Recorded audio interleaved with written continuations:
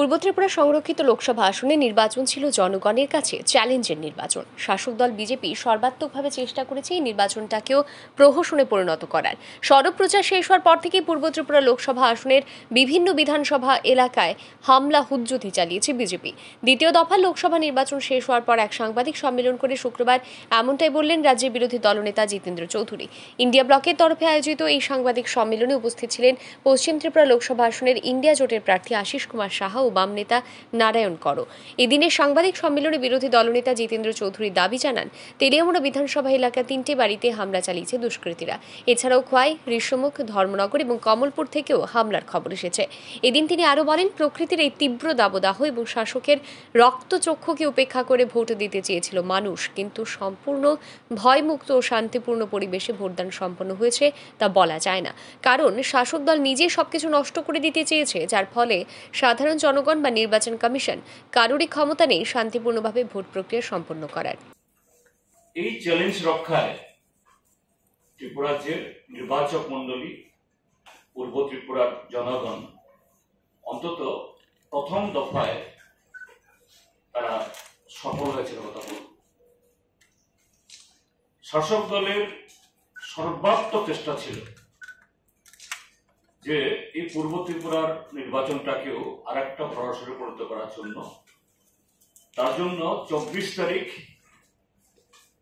সড়ক প্রচার শেষ হওয়ার পর থেকেই রাজ্যের সর্বত্র শাসক দলের ক্যাডাররা সেখানে হুমকি দেওয়া, একটা ভয়ের একটা পরিবেশ তৈরি করা, তার চেষ্টা চালিয়েছিল সবকটা তিরিশটা নির্বাচনী বিধানসভা কেন্দ্রে।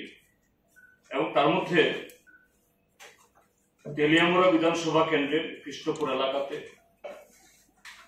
গতকাল সন্ধ্যাতে তিনটে বাড়ি তসতস করেছে। খোয়াই শহরে এই মোহনপুর থেকে, এখান থেকে মোহনপুরের নেতা তিনি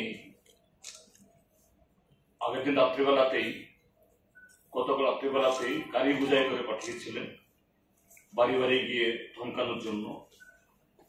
তারপর ঋষ্যমুখ বিধানসভা কেন্দ্রে, ধর্মনগর বিধানসভা কেন্দ্রে, কমলপুরের দুটো বিধানসভা কেন্দ্রে, এসব জায়গাতে অন্যান্য মহকুমা বা অন্যান্য বিধানসভা কেন্দ্রের চাইতে খুব বেশি মাত্রায় এই হুমকি পরিবেশকে একদম মানে ভয়াক্ত পরিস্থিতির চেষ্টা ছিল। সবকিছুকে ডিফাই করে। আজকে আরেক দিক থেকে হলো যে এই রুদ্রতা এবছর অস্বাভাবিক, বিগত কয়েক দশকের মধ্যে শাসক দলের সমস্ত ষড়যন্ত্র আর প্রাকৃতিক, অর্থাৎ এই রুদ্র তাপ দুটোকে উপেক্ষা করে মানুষ আজকে নেমেছে। সেই জায়গায় আমরা বলব না যে একদম ফ্রি অ্যান্ড ফেয়ার ইলেকশন হয়েছে, এ কথা বলার সুযোগ নেই। কেননা একটা রাজ্যে শাসক দলই যখন সমস্ত কিছু নষ্ট করা স্পয়েল করার উদ্যোগ নেয়, তখন জনগণের পক্ষে এবং কমিশনের পক্ষেও সবটা করা সম্ভব হয়ে ওঠে না। এদিনের সাংবাদিক সম্মেলনে উপস্থিত থেকে পশ্চিম ত্রিপুরা লোকসভা আসনের ইন্ডিয়া জোটের প্রার্থী আশিস কুমার সাহা বলেন, সাধারণ মানুষকে ভয় দেখিয়ে রাজ্যের দুটি লোকসভা কেন্দ্রে গণ্ডগোলের সৃষ্টি করেছিল শাসক দলের লোকেরা। এছাড়াও নির্বাচনের কাজে নিযুক্ত আধিকারিকদের কাজে হস্তক্ষেপ করেছে বিজেপি। এমনটাই অভিযোগ তোলেন তিনি। আরও বলেন, পশ্চিম ত্রিপুরা লোকসভা আসনের নির্বাচনে বিভিন্ন ধরনের ভয়ভীতি প্রদর্শন, প্রিসাইডিং অফিসারকে মারধর করা, প্রভাবিত করার চেষ্টা করা ইত্যাদি অভিযোগ জানিয়ে নির্বাচন কমিশনের কাছে দ্বারস্থ হয়েছিলেন ইন্ডিয়া জোটের নেতৃত্বরাও। যদিও এখনও তার কোনো সত্তর মেলেনি। নির্বাচন উৎসবের মেজাজে হয়েছে, এটা শাসক দলের দাবি। এই রাজ্যের মানুষ প্রত্যক্ষ করেছে, এই নির্বাচনকে কেন্দ্র করে। নির্বাচন ঘোষণার আগে থেকে শাসক দল গণতান্ত্রিক বাতাবরণ কীভাবে নষ্ট করা যায়? নির্বাচনে প্রতিদ্বন্দ্বিতায় থেকে ভয় ভীতি সন্ত্রাসকে হাতিয়ার করে নির্বাচনকে প্রহসনে পরিণত করার সমস্ত পদক্ষেপগুলি তারা গ্রহণ করে। এমনকি নির্বাচন কমিশনের যারা তত্ত্বাবধায়ক, এখানে সিইও আছেন আরওরা আছেন। ইভেন প্রিসাইডিং অফিসার অবধি তাদের এই নির্বাচনী কাজে হস্তক্ষেপ করা। গণতান্ত্রিক যে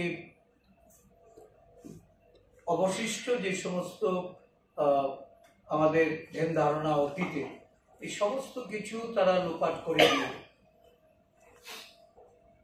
প্রশ্নাত্মক নির্বাচন করার প্রতিটা পদক্ষেপ তারা কার্যকর করে।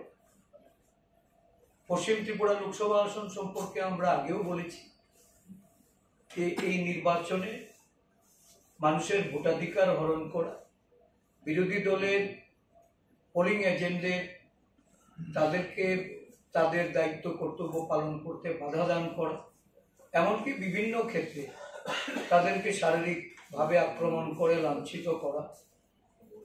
নানাভাবে অভিযোগ জানিয়েও নির্বাচন কমিশন থেকে আমরা কোনো সদুত্তর পাইনি এখনও। পূর্ব ত্রিপুরার ক্ষেত্রেও এখানে জিতেনবাবু বলেছেন বা আমাদের নারায়ণবাবুও বলেছেন এই বিভিন্ন ধরনের